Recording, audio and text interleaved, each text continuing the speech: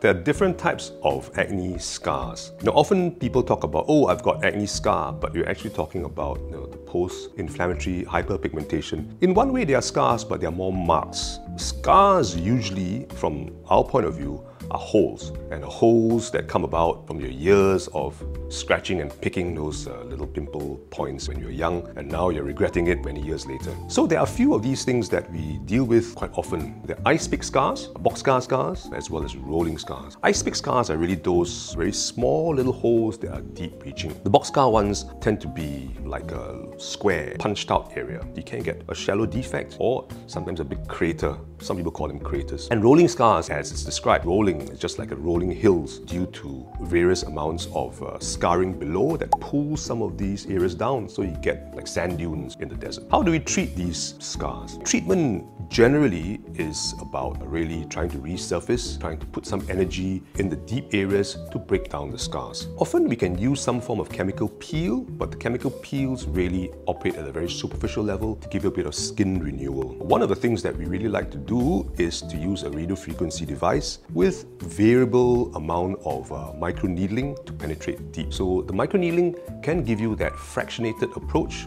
and uh, depending on the depth of the microneedle, we can go fairly deep, even up to about 3 millimeters deep. And with a selected radio frequency, it gives you the energy to try and break down the scars that's deep. Another popular way of treating scars would be to use a fractional laser. The theory really is to create little holes, but to create the holes apart so that you've got islands of normal tissue that can provide the cells to heal these little holes. And as it gives you that trauma, it also provides space for healing. More superficially, the texture can improve the cell turnover increases, and you get a smoother surface. There are other modalities that can be used to address what is deep as well.